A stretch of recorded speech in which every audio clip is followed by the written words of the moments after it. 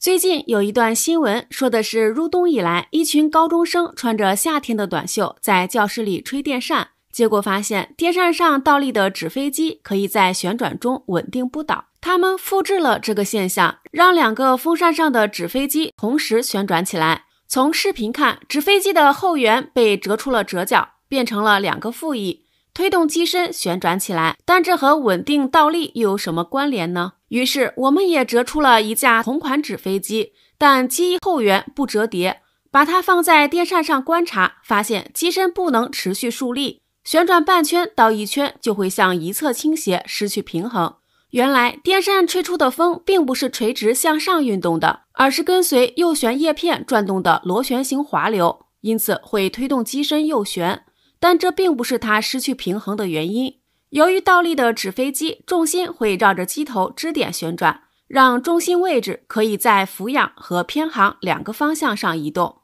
于是重力对支点形成了倾斜力矩。但纸飞机的机翼面积较大，俯仰角正负向增大时，都会让机翼受到的气动力增加，从而获得足够的附加力矩来抵抗重心的倾斜力矩，因此俯仰角受到了限制。但机身的侧面积太小，偏航角正负向增大时，机身回正力矩不足，无力抵抗重心的倾倒力矩而侧翻。因此，我们将机翼外段向下折叠九十度，给飞机装上两个大面积的垂尾，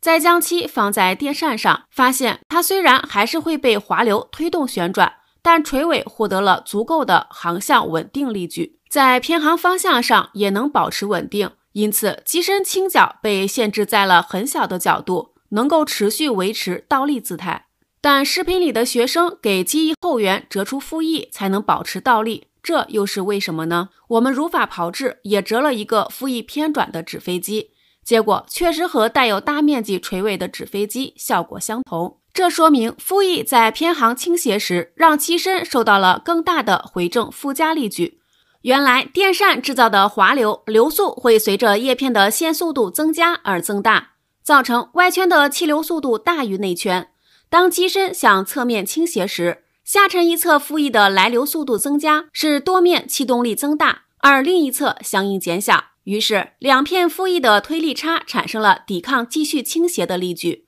为了验证这一说法，我们再折一架纸飞机，让两片副翼反向偏转。通过副翼的力偶来抵抗滑流制造的横滚，于是它不再转动，但机身依然可以稳定的倒立，说明机身横滚并不是竖立不倒的原因。此时滑流会通过副翼上表面，并在背风的下表面制造湍流，副翼因上下表面压力差而受到推力，产生了抵抗横滚的力矩。当机身向侧面倾斜时，下沉一侧多面来流速度增大，产生了更大的升力。同时，另一侧副翼升力相应减小，于是又形成了推动重心回正的力矩。可见，直飞机完全是依靠所受到的气动力，而不是旋转来稳定的，只是风扇的滑流制造了滚动中倒立的假象而已。